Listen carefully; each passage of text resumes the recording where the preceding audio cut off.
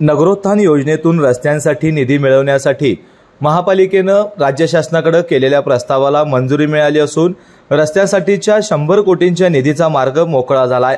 कोल्हापूर महानगरपालिकेनं महाराष्ट्र सुवर्ण जयंती नगरोत्थान महाअभियान योजनेअंतर्गत नागरी दळणवळण साधनांचा विकास या अंतर्गत शहरातील रस्ते गटार भुयारी मार्ग आणि फुटपाथ यांच्या कामाकरिता सादर केलेल्या शंभर कोटींच्या प्रस्तावाला सोमवारी राज्य शासनानं प्रशासकीय मंजुरी दिली असून लवकरच महापालिकेकडे निधी वर्ग केला जाईल अशी माहिती राज्य नियोजन मंडळाचे कार्यकारी अध्यक्ष राजेश क्षीरसागर यांनी दिली आहे. तर अशाच ताज्या अपडेट्ससाठी speed news live twenty four चॅनेलला सबस्क्राईब करा आणि बेल आयकॉनवर प्रेस करा.